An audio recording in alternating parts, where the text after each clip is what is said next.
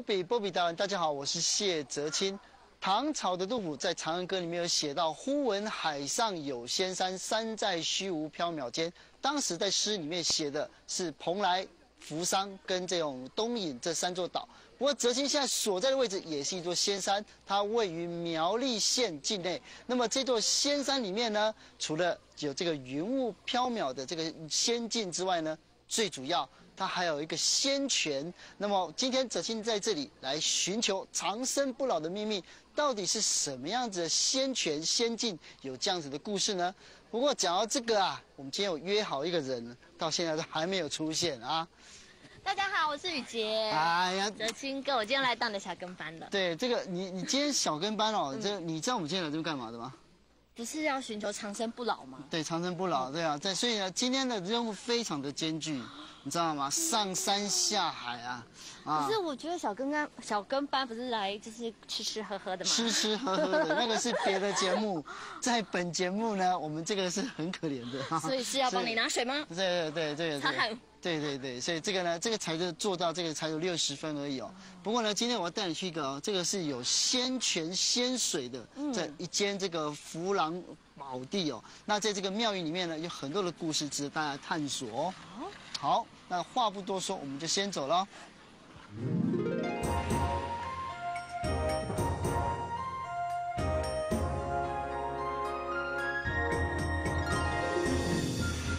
玉姐，嗯，这个在我们的背后的这一间，它就是灵洞宫。那你知道灵洞宫里面它所供奉的是什么吗？嗯，我知道有恩主公，还有关圣帝君。对，他是两个是同一个神。哦 对，这不错哈。现在要跟大家讲一下，因为剑里面有法事呢，所以很特别，我们就在外面来介绍。那灵洞宫呢，它主祀的神呢，中间是关圣帝君，恩主公没有错。那旁边呢，它包括了像是，例如说像福佑帝君，嗯，就是吕洞宾。那包括了司命真君，哦，这人的这个出生什么都要住在注写在里面。那当然还有关平跟周仓啊。可是这里面我认为最特别的，今天我们的主题是什么？长生不老。长生不老，所以我们要来这里就对了，因为里面拜了一个神呢，叫东岳帝君，就东岳帝君，对因为中那它跟长生不老什么关系？中国古代不是有五岳吗？嗯就是太华、松横横，就东岳就是泰山。那泰山有一个故事，你知道？你在古代的时候，你有没有听过大禹治水？有。大禹治水有两个版本，一个是史书的版本，一个是神话的版本。啊，神话版本怎么样呢？地上都是水，就后来天帝这个就是拿一块土交给大禹说，你拿这个土撒在地上就可以了。那这块土叫洗壤。嗯，他把这个土拿来之后就拨一拨，就丢到水里面去，结果呢，它就开始长土，长就长出来对，很厉害这样子。就后来他做他他治完水之后还剩下一大块，嗯就把它放在世界的角落，就变成了泰山。哦，所以泰山就是这样长出来的。对对对对，所以他在平原里面后来也都是很特别嘛。嗯所以孔老爷爷讲说登泰山小天下，对就是这样子来的。他所以他这个山很特别。嗯但重点呢是中国从秦朝开始就有封禅祭天地，就是封禅。嗯那封禅呢，这个他们在哪里办？就在泰山。所以泰山呢是以前啊修仙的人呐、祈福的人呐、那包括历朝历代，你当了皇帝之后要去告诉，就是哎，我现在是天下的主人，要去哪里？哦泰山泰山，对。那如果说皇帝生病要延命，要去哪里？泰山，要去泰山。管是哪里都要去泰山的。对，没有错。所以泰山呢，这个神就很特别，嗯就变成中国古代的延年益寿，你要长命百岁哦。或者是说呢，他们要去海上啊，那个，例如说，你看徐福去海上求那个仙丹的时候，对他去怎么东引啊，对啊，扶桑啊，蓬莱啊，坐船出发之前去那里拜拜？泰山。泰山没有错，所以泰山这个神在中国古代很有名，所以就是长生不老呢，你一定要认识他哦。那就是说，如果说你人生呢有点不顺遂，古代的时候就去拜这个泰山。对，那如果说这个想要延命呢，哎也来拜他这样子。延年益寿延年益寿，对，所以就是这泰山的神呢，虽然在台湾其实很少，但是呢，可以在灵洞宫里面可以看到，这个它虽然不是主祀，但是它却是这个庙里面的一个非常重要的象征哦。只见我走遍台湾这么多的庙宇哦，那个雨杰有没有发现，庙宇前面最重要的是什么？庙宇前面最重要的路啊，对，很路是路没有错，还有什么老街嘛？哦对老街啊，街吃的啦，对不对？可是我们今天来到林东宫，这是山里面，对啊，山里面就没有老街了，怎么办？所以呢，哎，这里有一个市集，市集，对，仙山市集，这么幽静的环境里面。还藏了一个市集，对，而且这个市集呢，卖的就是当地的土特产哦，当然也有这个民间呢在使用的各式各样的草药哦。这个长生不老呢，也要从这个民间啊，这里面也有吗？寻找一些炼炼丹的一些秘方哦，先进来看一看哦。大姐，水晶爪是什么？我可以看一下吗？它是长在石壁上，它是要有水汽，它自己才会。长出来这没办法种，所以它是天然的。啊，天然啊，这个是吃什么的？一般我们就拿来吃退火，也是吃退火的利尿的。然后还可以去酸酸甘油脂啊，去皮尿。哦，我发现古代的人火气都很大，退火的，退火的，对，退火的，退火的，降火气的，每一个都要退火跟降火气一样。我那边还更多。那我那边还很多，对不对？哦，对，这个就有趣了，因为其实呢，来到这些地方来看啊，就是。就有一些像像，尤其像德国，德国他们很喜欢研究这种民间在用的这种草药。对啊，那虽然呢有一些有医学证实，但我觉得这个不管怎么样保健呢，还是要去看医生啊。但是我但这边有一些东西我觉得很有趣，这个老祖宗的智慧啊，白雪豆根哦，这个这种白雪豆根是什么？大姐这是什么？这个是这里有写啊哦，骨碎骨碎骨碎骨豆根是在下面。哦，这个是骨碎补，骨碎补是什么？甲骨头哎，啊，吃骨头的，顾名思义哈，骨碎补。好多哦，对呀，琳琅满目。对啊，而且有的名字很可怕呢，例如说什么叫针筒色，针筒针筒色，针筒色是什么？针筒色是什么？这个它是用在肾不好的人。哦，肾不好的人哦，哦，对，针筒色名字还蛮惊悚的，对啊，来这里，哎。狮母头，狮三，这三步啦，三步。等下，但它这个是什么的？也是吃退火跟利尿的吗？类似。哦，这个你看，你看古代的火气真的很大。每一样都降火气。对呀。商场的东西。商场东西啊，谢谢啊，不好意思。哦，所以你看到这个这里面呢，有很多有趣的东西。这还有照乒乓跟，就这是爱玉哦，这是爱玉子。对呀。压公青，压公青跟我没有关系哦。还是都有青字，对，都有青字。它这个旗扇子是做什么的？它也是解毒，也是解毒的哦。因为中国古代的毒跟热是很像的，就是在中医里面就是体内嘛，热的话就像发炎，像发炎就是热嘛，啊毒也是一样，所以他们就是用这种来解掉。我发现古代人很身体很多毒，还有火气也很大，火气也很大，真的啊。所以可以看一看，这个也是啊。那其实来到这种山里面的地方啊，你看这个龙眼蜜，龙眼这种野这种野蜂的龙眼蜜啊，对，然后包括了这种各式各样的，这个是无患子，这是无患子，这个以前做肥皂的，对对对。其实你的家乡有很多，对，我的家乡有很多。这个你你知道这种东西有一个好处，这个它有一个特别的功能。你知道像在那个东南亚，他们东南亚很多，你说像呃像印尼，然后他们有很多那种银器银银做的，比如说像那种银饰的，嗯，他们就拿这个来洗银器，会闪闪发光。真的？真的，这个无患子这个很直接打开。对，打开来就沾点水就可以这样擦，它是可以洗，可以洗银器的用，很好用。对，洗银饰品用的。什么茶？南疆山茶。南疆，这喝什么的？来来来，喝茶。谢谢。南疆台湾也有。嗯，好好喝哦。南疆香吉，可是南疆不会辣哎。我们这个是台大教授发表的哦，哎，不含铅不含铜，最近几年才有。来，我们当自己加一样。一般外面卖的都是鸭蛋的，这个是土鸡蛋做的。嗯，真的不一样。嗯，好香啊！因为一般的鸭蛋有那种。很多人认为说鸭蛋有腥味，对它的那个味道比较重，对，鸡蛋就比较不一样，蛋香味。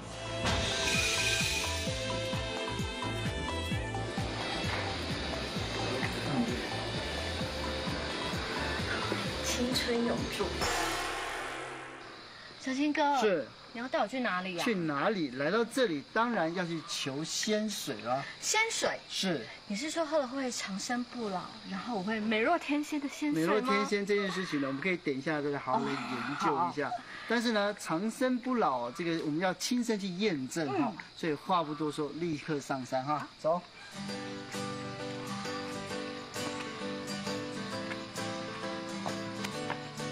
开心啊，走到上面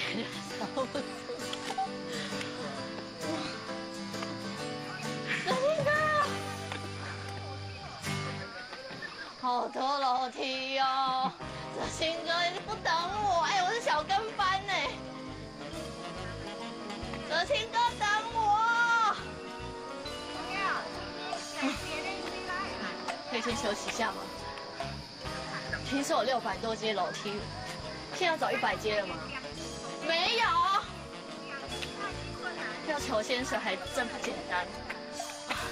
去找泽清哥。青哥，是，到底还要多久啊？走六百五十阶了，现在二十几阶就到了。哦，二十几阶，所以就说有六百七十六阶就是。六百七十六阶很近的啦。偷先生太辛苦了啦。那个《西游记》里面到西天取经都有八十一阶。十一个，好不好？多了。我要回去了。长生不老呢。啊，青春永驻哦。啊，阳光美丽哦。快一点哦。啊，我的先生，我拼了。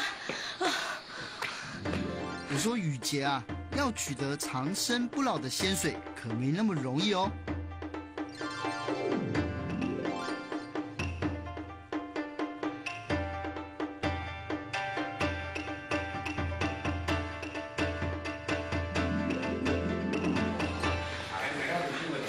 是。长生不老仙水有在哪里？在哪里？在这边，但是呢，先不要急啊。来这里呢，要先那个静下心来。然后呢，我先我先告诉你一下这是店铺。对啊，你知道后面拜的是哪一位吗？你看到自己。九天玄女。对，九天玄女没有错。这这个在中国的道教的这个圣经里面，九天玄女她是相当特别的。好，那在宋朝的时候有一本书啊，叫《三教搜神大全》。嗯。哦，那么在这书里面写到呢，说其实这个这个九天玄女是皇帝的祖先。哇，比皇帝还要对对对。那另外的讲法呢，说他是皇帝的老师。哇。你也在那个皇帝大战蚩尤的时候听过这个故事，对不对哈？结果呢，这个蚩尤施了妖法，嗯，就让整个战场都是雾大雾，然后他制造很多幻影，结果呢，九天玄女出现。他就帮助他，他做了一件很奇妙的事情，是啊，帮他发明指南车。哦，原来指南车就是九天玄女。所以这个故事里面讲，其实九天玄女非常的早。他后来呢，这个皇帝在中国的神话故事里面，他是他修道成仙。嗯，那他的老师也就是九天玄女。所以呢，可以看到九天玄女就教授了皇帝养生。炼丹，尤其是房中术，这个是中国古代的秘术，对啊，所以这个九天玄女呢，在中国道教里面这个非常特别的神格，而且它历史非常悠久。对呀，所以在中国历史里面这么长的这个将近五千年的历史，好好了解一下，好好了解一下。所以呢，这个这个话不多说，马上带你到这个仙水那边去，走喽。仙水，是要把两年美容仙水吗？我先出发了。仙水，千水呢？泽鑫哥，泽鑫哥，我的长生不老，请问有这个仙水到底在哪里？仙水有啊，这已经远在天边，近在眼前，就在这里啊。哎，泽鑫哥，我爬了这么久，你该不会告诉我水龙头打开里面就是仙水？你不要，这这个是个神机，仙，你们看到没有？仙佛开绝路，水妙济群灵，对啊，这个是拯救黎民苍生的一口井。以前啊，听说这附近呢有疟疾。就家家户户呢生病，就他们是因为呢喝了这口井之后，这个病才好。对，所以呢这个仙水是这样子，哦所以呢这个你看哦，来这里呢诚心刚拜完之后呢，然后就可以用点。哇，这里面真的是仙水耶。对，仙水。来，这个来你也用一个啊。嗯。青春永驻。啊，有没有活过来的感觉？有，因为真的爬爬楼梯爬的好辛苦，现在觉得水特别甘甜。是吗？对，这个，而且呢，这个仙水哦，不止呢来到了这个邪灵宫啊，连山脚下都有都有人呢拿来做成各式各样的料理。哦，所以不只是所以金哥耍你，对不对？其实在山下就可以喝了。我觉得我今天是被整而已，没有别的。我跟你讲，这你要上来啊，你要通过你的身体力行呢去了解，才知道这个古代的人哦，就是为了你看，为了这一口这一口井这些鲜水，这么辛苦，跋山涉水，对，要感恩要感恩，感恩哦。多喝一点才变漂亮啊！变漂亮了。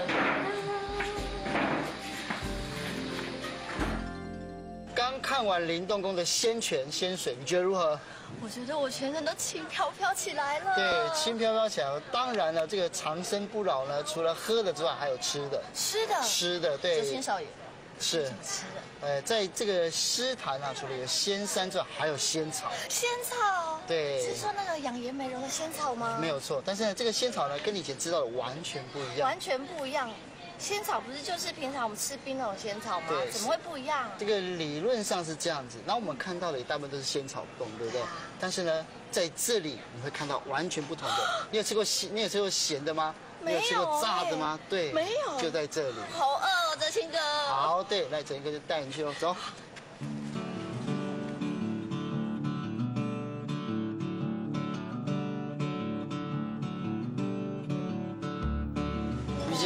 看里面这个古色古香的店怎么样？我觉得好有味道，有味道，对不对？我是在老街里面，而且这样一间店，而且它很多那种客家风情啊，你看早期的这些他们家庭用的东西啊，然后包括了你看客家的那个蓝染，这边全部都有，哦，你可以看得见。桌椅，对，桌椅桌椅。是，但是呢，就我觉得就是在这样子的一个环境里面，能够吃这样的餐点是幸福的哦。所以，德兴哥，你们看我的口水在流满桌。有有有有，这流这一锅就是。好，来，我们来试试看啊。好。好，第一个呢，这个你要先试一下鸡汤嘛，因为这是鲜草鸡耶。鲜草鸡。对，鲜草可以拿来拿来做鸡汤，我觉得很特别。你先帮我试一下啊。有淡淡的仙草味。是哦，你这样讲我都想试试看。咸的，第一次吃到仙草是咸的哎，而且它好甘甜哦。不是它像什么？你知道？你知道以前我们常在做那种呃那种呃乡下的那种，有点像那种药草的鸡。其实仙草它其实就因为我们吃习惯甜的嘛，所以它冰啊，这有点像什么？像那种没有药味的那种那种青草的那种鸡肉，而且它吃完之后它回甘，对不对？仙草会回甘，我觉得很棒。对啊，哦，所以这个汤呢，听说对身体不错。而且夏天喝这个就又不会太上火。你知道古代人为什么要吃仙草？因为。知道有可以养颜美容，养颜美容是后来生出来。古代他们就不讲究这个，因为以前这是解热的，解热的。对对对，就是说解暑热，还有解那种脏腑的热。哦。他们觉得夏天就非常适合。对，例如说那种身体发炎啊，以前的人呐，他们他们觉得哎吃仙草就会好。啊。对，所以来，好，所以来试看这个仙草之外呢，我一定要来跟大家来来郑重介绍，就是这个，这是炸仙草。炸仙草，对对对，你也可以来一块啊，放自己家啊，好软。吃过炸豆腐，没有吃过炸。其实它的手感跟炸豆腐非常的像，来，可以看一下哦，这跟炸豆腐非常的像，哇，你可以拿一下，然后呢蘸一下这是泰式的那个酱，我要试试看。赶快加一块。仙草到里面来，既然炸的时候没有融化掉。仙草这种东西碰到热的东西，它就它冻就会化掉了嘛，对不对？而且它那个皮哦，它那个皮其实又不是面皮，也不是我们吃过一些什么地瓜粉，都不是，我觉得很很特别。那最主要是，你知道，因为吃习惯碱的，再来吃这种炸仙草冻里面呢，它有点像豆腐的味道。它的那个面皮真的很特别，就不像一般炸的那个面皮，可是加上这个仙草冻。又有点入口即化，对不对？我想起来像什么？它像甜甜圈的皮，对不对？那味道，对不对？对。对对对，像甜甜圈的皮。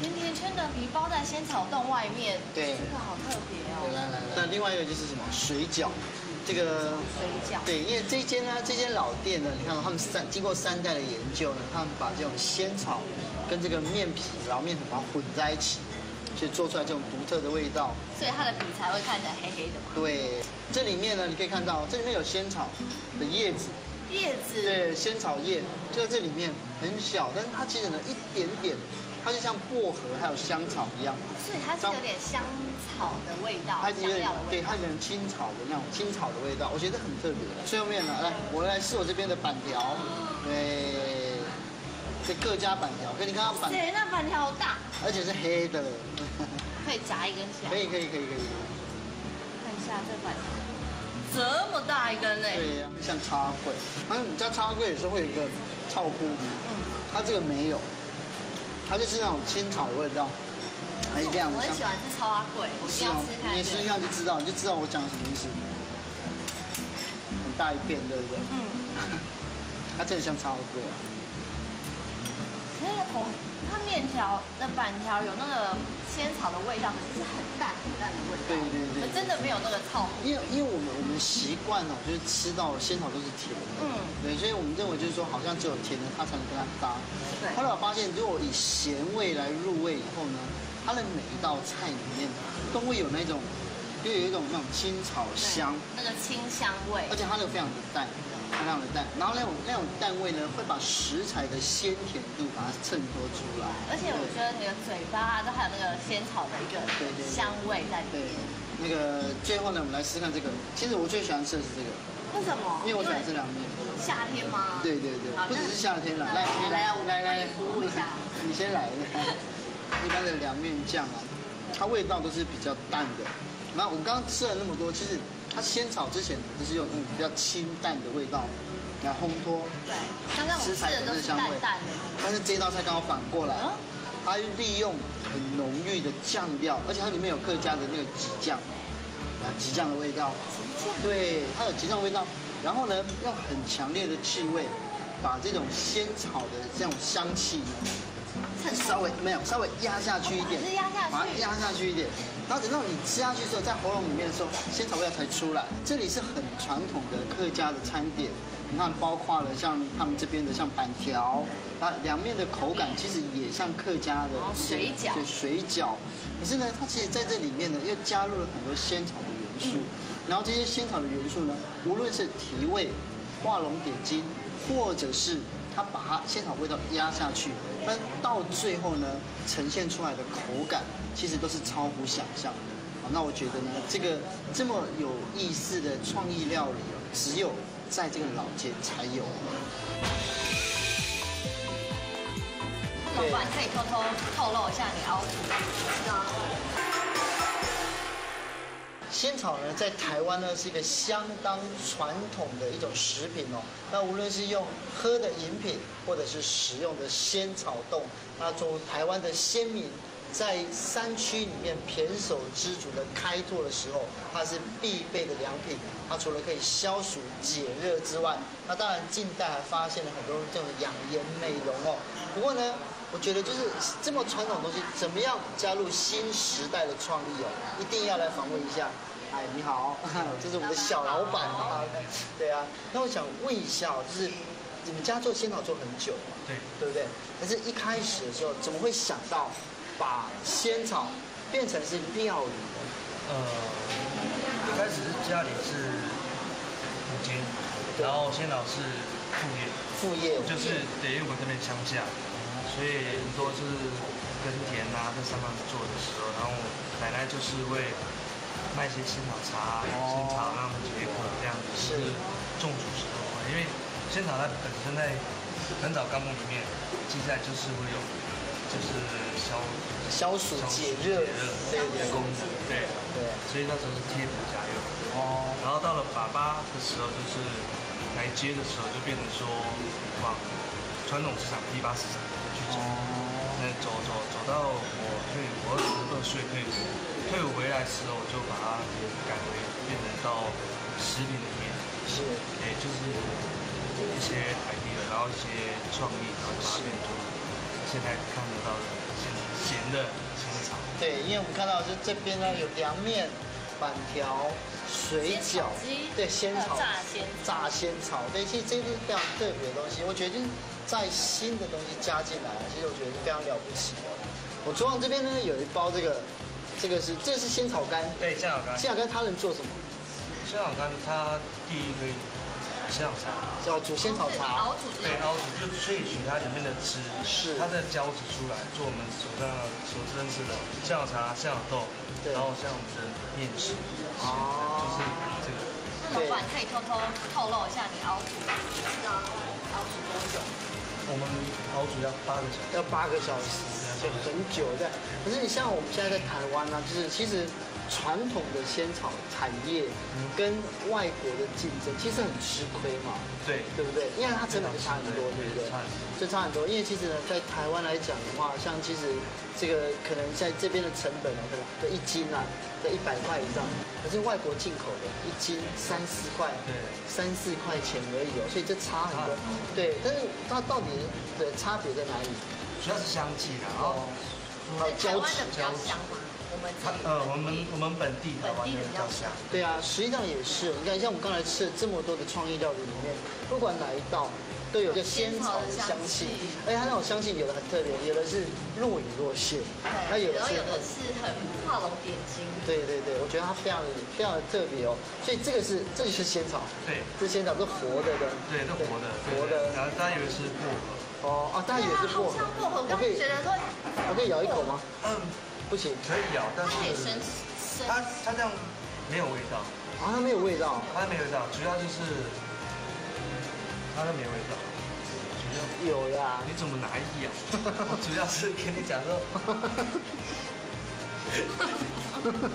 哎，可是它这样吃起来就有胶质的感觉，对对对，你就手上在捏。它就有那黏黏那种胶质，主要还是个胶质，还是要咬一下。对啊，那个老板，我可以捏捏，然后涂脸上吗？好像没有用，不行好像没有用，它会凉凉的，它会凉凉。你自己也没吃过对不对？这个没有，哦，没有人生，没有，对啊，我吃，没有人生吃啊，显得我很笨这样。它搓一搓就会有那黏黏的。有有有，有嘴巴里没有一股。对啊，嗯，好像有很丰富的胶质。对对对对。好，哦，所以你看，哎，这味道真的很特别，这样。我觉得你看从这边，然后萃取，然后制作成这个样子，到最后变成我们的成品，对对对，成品哦。那其实呢，这这这个还算是传统产业的一部分。可是，在未来，你有什么样子的开发计划？呃，我们未来是跟美美在想说，不要浪费鲜草。干。仙草干，对，就像因为我们熬煮这些东西出来是用这熬的嘛，对，八个小时出来之后，我们就变成渣渣，就变渣，渣的时候我们是一半是给农民当肥料，当肥料，那另外一个我们在打算就把它当做变成纸纸张，啊，纸张文创商品，对，文创商品，仙草纸，仙仙草纸，对对，就是这个，对，就变出来了，就这个。哎，这还在这还在开发当中嘛，对不对？对对对对。对，但其其实像像我我们有很多朋友都在做文创的，嗯，那像这种这种纸呢，如果说配上那种古代的这种这种书写和书法的，对，现在很流行兰亭集序，我跟你讲，不错，对，仿古又遗遗今又遗古这样，对不对？所以你打算变成，例如说像，还有像这种哎，对，就是教教学。哦，教学就是往教学方面，就是说资源啊，所以要怎么把它弄到上面去？对对对，就是一样，就是这就秘密了嘛，刚我问那么多。那我可以来学吗？可以，可以来学呀，对呀，所以所以这个就变成我们文创商品的基础了。对对对对，因为可以看到这看起来像再生纸，但是最主要呢，它的纤维没有像纸这么细，所以上面还可以看到仙草的这些它的叶子啊，还有它的梗。所以就是未来是朝这方面来努力跟开发嘛，对啊。我跟你讲，如果拿这个纸啊，做成那种舞龙舞狮那种纸的那种组合的，可以有嘛，对不对？真的可以试试看，对。所以我们可以拭目以待。还有纸神明可以拿责任神，对，他做公仔，对啊。所以我觉得这个，你知道，在传统产业呢没落的时候。台湾的朋友其实呢，还在为我们保留这些传统的文化，透过这样的传承，不只是吃而已哦。那我们可以更了解到台湾先民在这片土地上生存的意义哦。超过四十年的老店，店面虽然经过重新翻修装潢，产品不断研发出新，但不变的是坚持古法制成及对客人的用心，让这一份古早味有了新的风貌及价值。也是这一份的坚持与创新，让这家店能够长生不老、有序经营下去哦。这个就是茶寿的样子。茶寿，嘿。可以看到这个盖子很可爱啊，很可爱。然后这个这这里面也是老师要。这里面棉花，棉花嘿不包。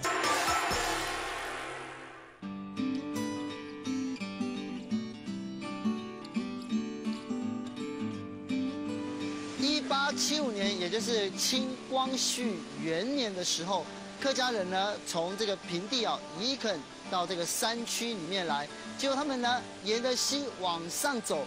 来到这个地方，可以看到左右各有两条溪汇合啊。那么他们在这个沙洲这个地方呢停船，就这个沙洲呢非常的长，就像大象的鼻子一样，所以早些年呢地图称之为象鼻会。那么象鼻会呢就变成了汶水这个地方最早的名字。不过呢，哎，这个就有趣了，为什么叫汶水呢？客家人称这个肮脏浊水就叫汶水。那原因呢，是因为这个汶水溪里面呢，夹带了大量上游煤层的这个土啊，所以呢，平常浑浊，下雨天呢，它就越发的看着非常的黑呀。所以他们就在这个地方哦，他们就想说，哎，把这里合起来，这个包括呢，包括从泰安，包括从大湖，然后连接苗栗，他们把这个地方的货物集散起来，在这里做生意，那它就形成了一条老街。不过呢，事过境迁啊，随着那个这个交通事业的发达，尤其是东西向快速道路的整建之后呢，汶水老街就慢慢的没落。今天经过社区的总体营造，它已经变成一条充满人文气息的老街。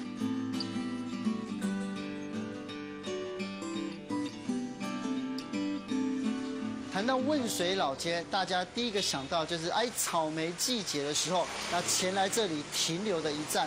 不过呢，这里除了草莓之外呢，我认为哦，真正具有客家人情味的这个文化特色，就是茶寿哦。老师你好，哦，主持人你好，你好，你好，哦，那个我们进来看呢，这个其实茶寿我是指的是汶水老街的特色啊，对，汶水老街特色。对，跟你讲我们进来之后呢，看到第一个东西，一定要来好好的介绍一下哈。老师，你看这边这首诗，对，这个诗是讲的就是茶寿，是茶寿的内容，对，哎，知道这个内容了哈，看。看得懂了就知道内容的意思，所以老师看得懂这个这个茶这个诗就已经知道茶说是什么。对对。可是他这个什么？这个用国语念吗？不是，要用那个客家语。用客家话念哦。老师可以帮我们念一下吗？好，念给你听哈。好。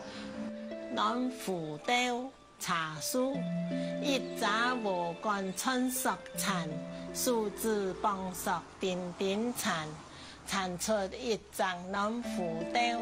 女仆棉花布来包，轻枪吊吊研优秀，还有立马改来见，头摆梳子莫做雕，两下泡茶不文用，茶比茶壶并地度，中间能壶能干雕，人工色茶为藏书，我名茶书添福书。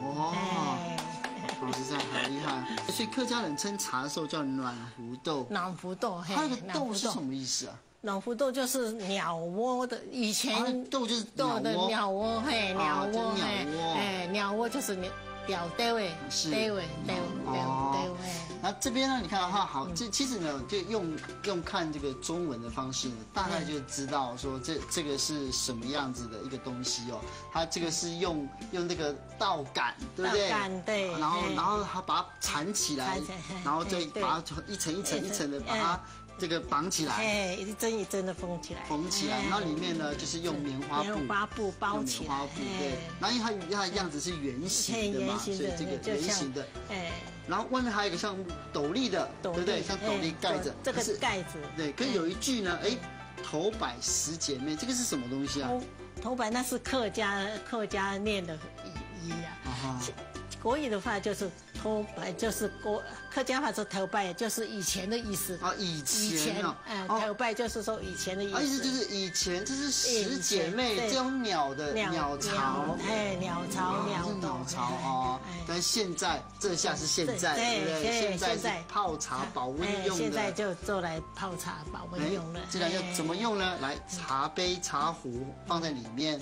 哦，然后呢，就做个这个暖暖壶暖暖壶的个盖盖盖盖盖子的，就暖壶豆。哦，因为这个这一，我觉得后面这两句刚好就是这个这个茶寿的由来，对不对？对。因为以前啊，听说在民国前二十四年的时候，就有一个那个客家的那个大姐，一个妈妈，就阿妈，觉得很心疼她老公啊，冬天那个喝那上山去做工作，对对，吃的冷的茶，冷的饭。啊，就舍不得，哎，老公这么辛苦嘛，对，啊，因为客家相信说喝茶喝暖茶就会长寿嘛，对，多喝茶长寿，啊，多喝茶长寿，多喝茶长，多喝茶长寿，所以呢，哎，他就把这样子保温的叫茶寿，茶寿，哎，这样子很有学问的，很有学问，对对对，而且而且他感觉上就是，其实你。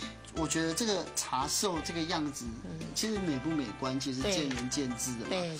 然后它的保温也没有真空的那个保温瓶来的好。对对。可是呢，它是客家那个浓浓的人情啊。对。对。但是呢，一定要让大家看一下，老师，我们来看一下这个，过来看一下，哎，这个茶寿。你那个老师，叶老师，你看这手先。但是呢，一定要让大家看一下，老师，我们来看一下这个，过来看一下，哎，这个茶寿，对。这个这个就是茶寿的样子。这个茶寿，嘿，哎，可以看到这个盖子很可爱啊，很可爱。然后这个这这里面也是老师要。这里面棉花，棉花，嘿，布包起来哈。哦，棉花是布包起来。然后还有很可爱的这个。茶泡了放进去里面盖起来，六到八个小时还是热热的。六到八个小时。六到八个小时还是热热的。哦，这很厉害。又很耐用，可以用到三十年、四十年以上没问题。嗯，这个很耐用。我听说以前它这个东西，它这个东西以前不是用来做放放茶的。不是不是，因为它它的客它哎它以前叫什么？叫鸟笼。鸟笼鸟哎鸟笼哎。哦，因为以前是他们是为什么会做称作鸟笼？以前哦，那很茂盛啊，我们那个苗栗哈很茂盛，那个壁上哈一一箱一箱的，里面有一对小鸟啊，十姐妹啦，哈花名啦，什么很多种嘛哈，就是那鸟窝，这小小的鸟窝，就在那边，就是上一代那老人家阿妈就从那个鸟窝拿出来研发出来，好做大一点哈，做大一点就放棉花，保温的效果比较好。那那鸟窝在那个鸟鸟巢里面就可以生蛋啊，就有保。暖的性质啊，本稻草本身它就有保暖的性质，哎，所以阿妈就她的老智慧就就想起来了，哎，老公这么辛苦啊，这天天到山上去哈，吃冷饭冷冷的开水哦，舍不得，那就就做大一点的给他带去山上，带去山上了，那个那阿贝回来说，哎，你做的那个鸟鸟巢很有用哦，哈，很好哦，然后。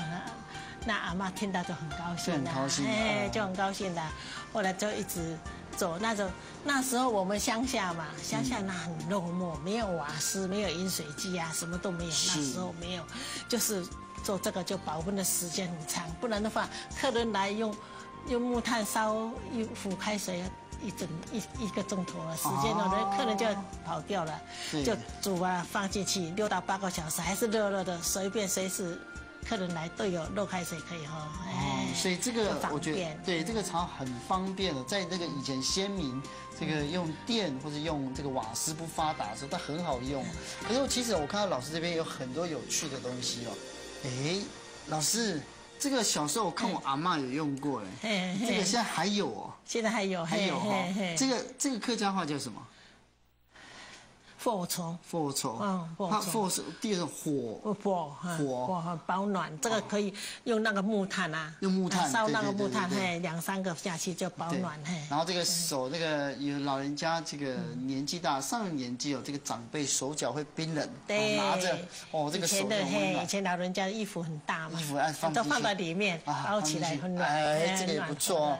这个现在已经没有了，现在这个乡下还有一些地方有。哎，乡下乡下比较有。现在的现在的老人家也没有用了，对呀，就装饰啊，装饰，我觉得做个纪念品啊。对，这个很可爱，这个。我觉得这个老师，你在这边啊，很多这个手编跟竹编，甚至还有用稻草稻草来编织的吧？所以老师，你做了多久了？我做快四十年了。快四十年哦，所以真的做到现在。啊，做，所以真的很多东西都是老师自己 做的。哎，一部分呢，也不是全部。哎，稻草方面的就是我一个人，哎，自己做的。那我能不能看看说老师怎么做呢？好啊，好，可以啊，去看一看喽。好。大家有看到泽金手上的这个稻杆，那这个稻杆呢，其实在老师在制作茶寿的时候，大概每隔几针就会加一些新的下去嘛，像现在手上这个，没有没有一定的，没有一定，嘿，要看看这个稻草有的。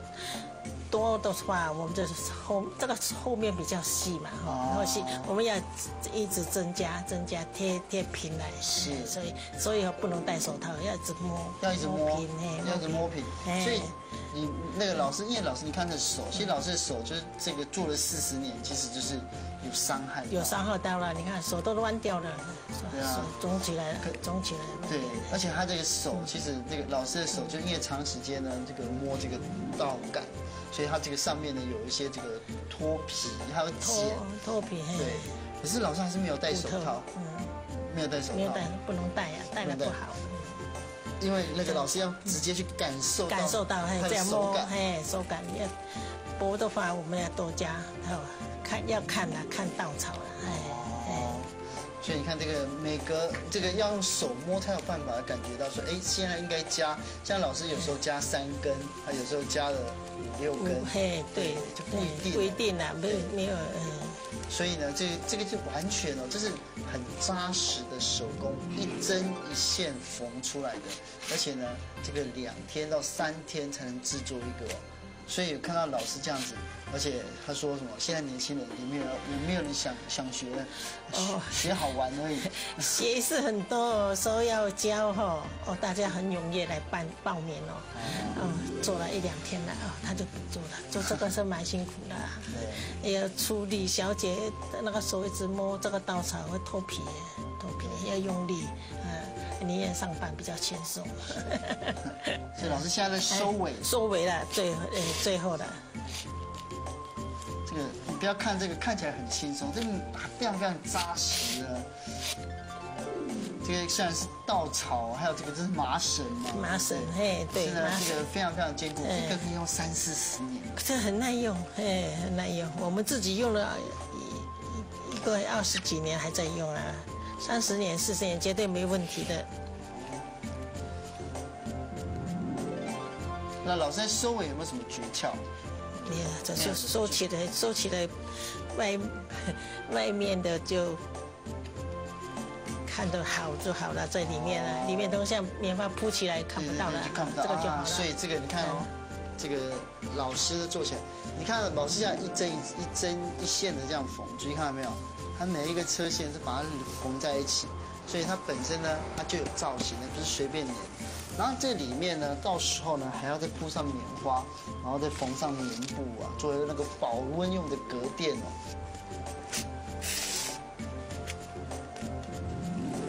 看这样，老师现在快要做好了，这个收尾了，收尾了，对，好的。